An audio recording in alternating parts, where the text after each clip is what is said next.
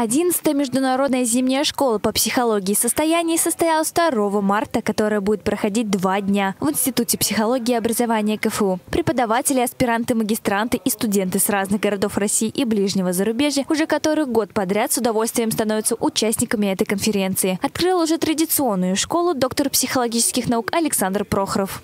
Люди приходят к психологу, говорят, мне плохо и говорят, что вот у меня то-то, то-то, мне страшно, у меня тревоги, у меня утомление сильное, бессонница и так далее. То есть это все состояния. И вот мы э, обучаем студентов работать с этими состояниями, собственно говоря.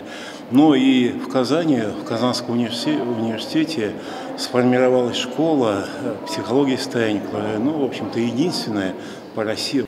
На пленарном заседании с докладами выступали кандидаты доктора наук, студенты и аспиранты Казанского федерального университета, ученики Александра Прохорова и просто активные научные деятели психологии. Актуальные темы докладов всегда вызывали животрепещущие споры и дискуссии, внутри которых рождались новые темы для новых научных изысканий. После пленарного заседания участники конференции разошлись по мастер-классам, тренингам и круглым столам.